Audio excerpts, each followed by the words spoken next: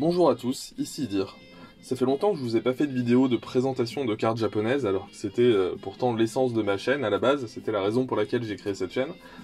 Aujourd'hui, je vais reprendre les bonnes habitudes et je vais enfin, après tant de mois, tant d'années, vous présenter une petite carte japonaise. Alors je vous préviens tout de suite, cette vidéo va être courte, moins de 5 minutes a priori, parce qu'il n'y a pas énormément de choses à raconter non plus, mais c'est une petite histoire sympa. Voici la carte en question.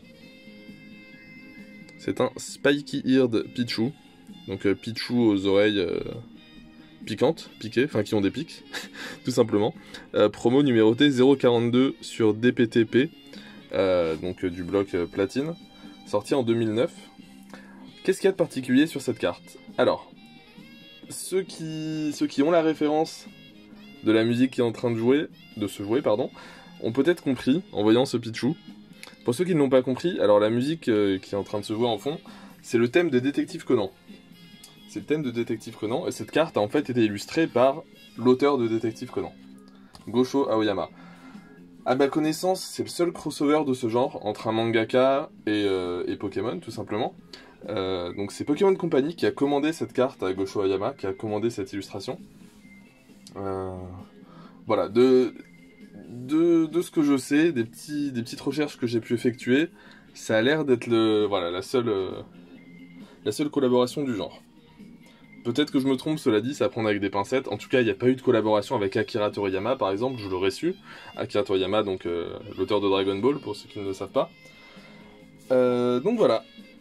Moi j'adore Détective Conan, donc c'est une carte qui me tient particulièrement à cœur.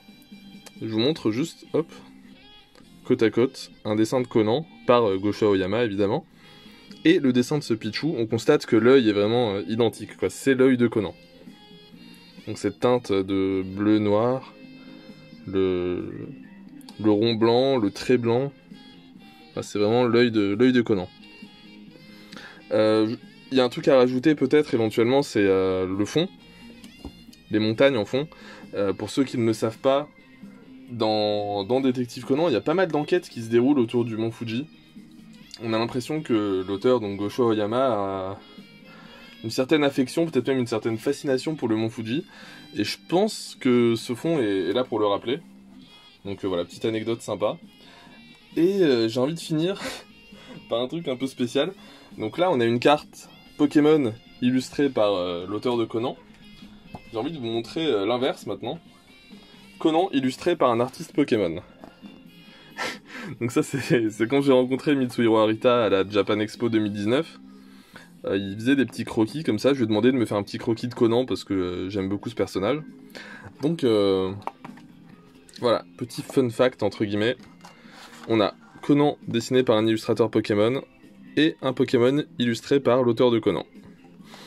Voilà, tout simplement. J'espère que ça vous a plu. Vidéo pas longue du tout, sans prétention, juste une petite histoire sur une petite carte sympathique. Et sur ce, je vous laisse. Au revoir.